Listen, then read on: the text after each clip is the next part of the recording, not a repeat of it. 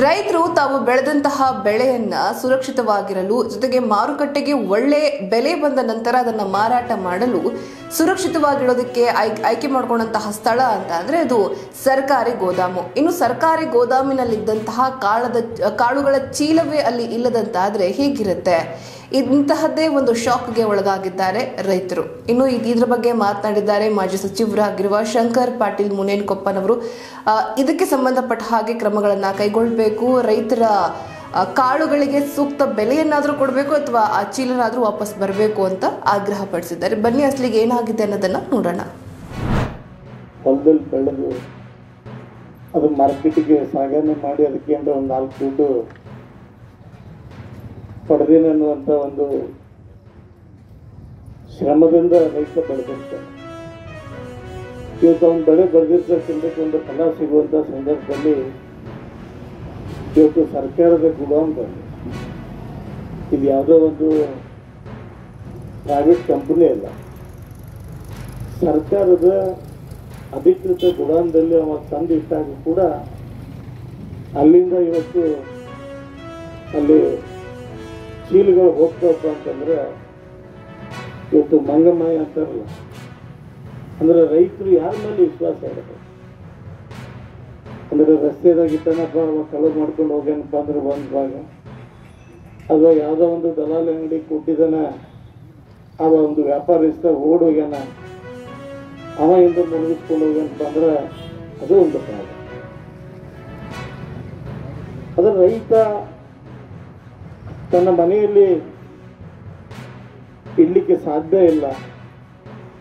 ರಸ್ತೆಯಲ್ಲಿ ಇಟ್ಟಾಗ ಏನರ ನಾನು ಬೆಳೆದಿರ್ತಕ್ಕಂಥ ಬೆಳೆ ಯಾರ ತಗೊಂಡು ಹೋಗ್ಯಾರ ಅಂತ ಹೇಳಿ ನಮಗೆ ಅತ್ಯಂತ ನಂಬಿಕೆ ಇರ್ತಕ್ಕಂಥ ಒಂದು ವ್ಯವಸ್ಥೆಯಲ್ಲಿ ಒಂದು ಸರ್ಕಾರದ ಅಧಿಕೃತ ಗುಡಾನ್ದಲ್ಲಿ ತಂದಿಟ್ಟಾಗ ಆ ಗುಡಾನಿಂದ ಇವತ್ತು ಆ ಚೀಲಗಳು ಹೋಗಿದ ಅನ್ನುವಂಥ ಒಂದು ಸಂಗತಿಯನ್ನು ನೋಡಿದಾಗ ಬಹಳ ನೋವು ಆಗ್ತಕ್ಕಂಥ ಮತ್ತು ವಿಶೇಷವಾಗಿ ಈ ರೀತಿ ಹೋದಾಗ ಯಾವ ರೀತಿ ಧ್ವನಿ ಎತ್ತಬೇಕು ಅನ್ನುವಂಥದ್ದನ್ನ ಇವತ್ತು ರೈತರಿಗೆ ನ್ಯಾಯ ಸಿಗಬೇಕು. ರೈತರ ಜೊತೆ ಹೋರಾಟಗಾರರ ಜೊತೆ ನಾವೆಲ್ಲ ಇರಬೇಕಾಗುತ್ತೆ.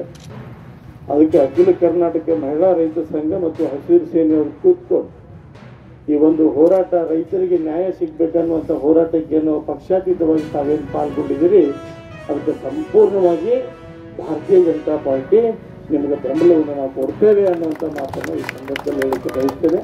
ಮತ್ತು ನಿಮಗೆ ಅಭಿನಂದನೆಯನ್ನು ಕೂಡ ಸಲ್ಲಿಸ್ತೇವೆ ಯಾಕಂದ್ರೆ ಈ ರೀತಿ ಹೋರಾಟಗಳು ಆಗ್ಬೇಕು. ಯಾಕಂದ್ರೆ ನಾವು ಯಾವ್ದಾರ ಹೋರಾಟ ಮಾಡತ್ತೀವಪ್ಪ ಅಂದ್ರೆ ಅದಕ್ಕೊಂದು ಏನೋ ಒಂದು ಕಟ್ತಾರೆ ನಮಗೆ. ಬಿ ಜೆ ರಾಜಕಾರಣ ಮಾಡ್ತಾರೆ ಅಂತ. ನನಗೆ ಕುಂತ ತಕ್ಷಣ ಬರ್ಬೇಕನ್ನುವಂಥದ್ದನ್ನ ನಾವು ಯೋಚನೆ ಮಾಡಿದ್ವಿ.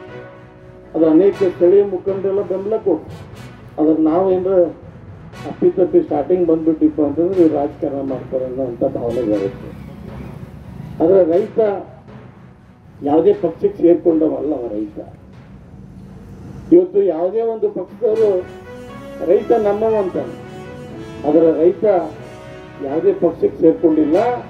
ರೈತನಿಗೆ ಎಲ್ಲ ಪಕ್ಷ ಸೇರ್ಕೊಂಡಿದ್ದಾವೆ ಅನ್ನುವಂಥದ್ದನ್ನು ನಾವು ತಿಳಿಸ್ಕೊಳ್ಬೇಕಾಗತ್ತೆ. ಅಥವಾ ರೈತ ಯಾವುದೇ ಪಕ್ಷಕ್ಕೆ ಸೇರ್ಕೊಂಡಿಲ್ಲ.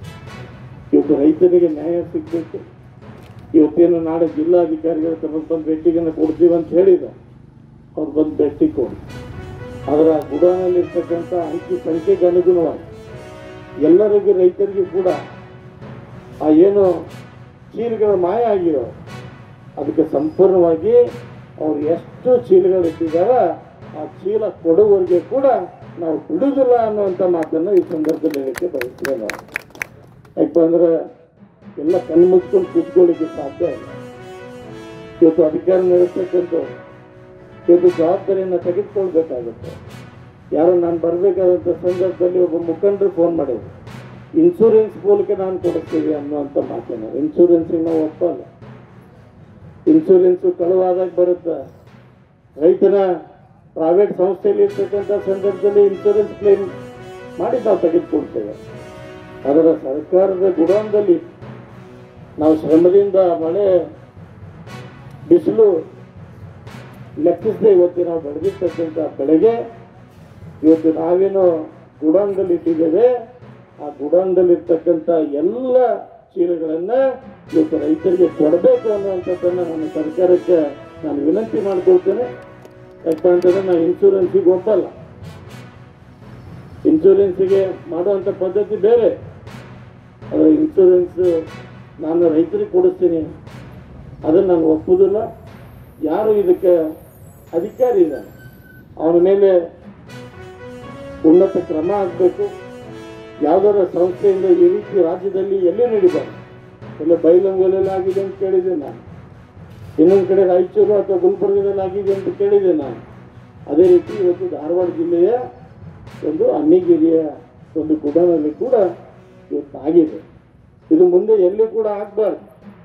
ಸರ್ಕಾರ ಒಂದು ತೀರ್ಮಾನ ತೆಗೆದುಕೊಳ್ಬೇಕು. ಎಲ್ಲರ ಈ ರೀತಿ ರೈತರು ಇಟ್ಟಿರ್ತಕ್ಕಂಥ ಒಂದು ಬೆಳೆಗಳನ್ನ ಯಾರ ಒಂದು ಚೀಲ ಇವತ್ತು ಆ ಕಡೆ ಈ ಕಡೆ ಮಾಡಿದ್ರೆ ಅದಕ್ಕೆ ಉಗ್ರವಾಗಿರ್ತಕ್ಕಂಥ ಕಾನೂನನ್ನ ತೆಗೆದುಕೊಂಡು ಬಂದು ಇವತ್ತು ರೈತರ ಜೊತೆ ಚೆಲ್ಲಾಟ ಆಡಬಾರ್ದು ಅನ್ನುವಂಥ ಮಾತನ್ನ ಇವತ್ತು ರಾಜ್ಯದ ಮುಖ್ಯಮಂತ್ರಿಗಳು ಗಮನಿಸಬೇಕು. ಇವತ್ತು ಇದಕ್ಕೆ ಸಂಬಂಧಪಟ್ಟಿರ್ತಕ್ಕ ಇಲಾಖೆಯವರು ಗಮನಿಸಬೇಕು. ಇವತ್ತು ಏನು ನಾವು ಇಲ್ಲಿ ಬಂದು ಭೇಟಿಯನ್ನು ಕೊಟ್ಟು ಬೆಂಬಲವನ್ನು ಕೊಟ್ಟಿದ್ದೇವೆ. ಈ ಬೆಂಬಲ ಕೊಟ್ಟು ಹೋಗಿದ್ದು ಅಷ್ಟೇ ಅಲ್ಲ. ಹದಿನೈದು ಇಪ್ಪತ್ತು ದಿವಸದೊಳಗೆ ಆ ರೈತರಿಗೆ ಮಾಲ್ ಮುಟ್ಟಬೇಕು ಅವ್ರು ಮುಟ್ಟದೆ ಹೋದ್ರೆ ಮುಂದೆ ನಾವು ತೆಗೆದುಕೊಳ್ತೇವೆ. ನಾವು ಯಾವ ರೀತಿ ಕಾನೂನನ್ನ ಕ್ರಮ ಜರುಗಿಸ್ಬೇಕು ನಾವು ಜರುಗಿಸ್ತೇವೆ. ಇವತ್ತು ನಾವು ಇದೇ ರೀತಿ ಇವತ್ತು ನವಲ್ಗೊಂದು ಗುಡ್ಡವನ್ನು ಅನಧಿಕೃತವಾಗಿ ತೆಗಿತಕ್ಕಂಥ ಸಂದರ್ಭದಲ್ಲಿ ಇವತ್ತು ಅದು ನಾನು ಪಾರಂಪರಿಕ ಗುಡ್ಡ, ಅದು ನವಲ್ಗೊಂದು ಜನರ ಗುಡ್ಡ, ಈ ರಾಜ್ಯದ ಜನರ ಗುಡ್ಡ, ಅದಕ್ಕೆ ಒಂದು ಒಂದು ಟಿಪ್ ಕೂಡ ಅದನ್ನು ಮನೆ ತೆಗಿಲಿಕ್ಕೆ ಭಾರತೀಯ ಜನತಾ ಪಾರ್ಟಿ ದುಡಿದಿಲ್ಲ ಅಂತ ಹೇಳಿದ್ವಿ. ಅದನ್ನ ತಂದು ಕೂಡ ನಾವು ಮಾಡಿಸಿದ್ದೇವೆ ಅನ್ನುವಂಥ ಮಾತನ್ನು ಹೇಳಲಿಕ್ಕೆ ಬಯಸ್ತೇನೆ ಯಾಕಂದ್ರೆ ನಾವು ಸುಮ್ಮನೆ ಹುಡುಗಾಟಕ್ಕೆ ರಾಜಕಾರಣ ಮಾಡೋರಲ್ಲ. ಇದು ರೈತರಿಗೆ ಅನ್ಯಾಯ ಆದಾಗ ರೈತರ ಜೊತೆ ನಾವು ಹೋಗ್ತೇವೆ. ಇದು ಹಸಿರು ಸೇನೆಯವರು ರಸ್ತೆಯಲ್ಲಿ ಕೂತ್ಕೊಂಡ್ರೆ ನಮ್ಮನ್ನು ಕರೆದ್ರು ಕೂಡ ನಮ್ಮ ಭಾರತೀಯ ಜನತಾ ಪಾರ್ಟಿ ಸಂಪೂರ್ಣವಾಗಿ ನಿಮ್ಮ ಜೊತೆ ಇರ್ತೇವೆ ಅನ್ನುವಂಥ